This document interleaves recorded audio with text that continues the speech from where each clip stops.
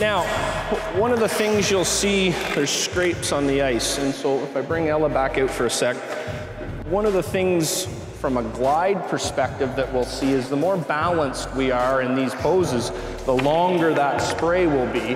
What that tells us is, is that her mass is balanced over her plant leg.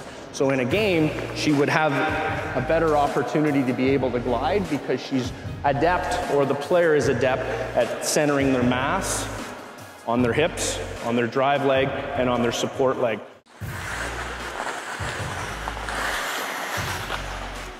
Now, one of the things you'll see, there's scrapes on the ice. And so if I bring Ella back out for a sec, one of the things from a glide perspective that we'll see is the more balanced we are in these poses, the longer that spray will be. What that tells us is, is that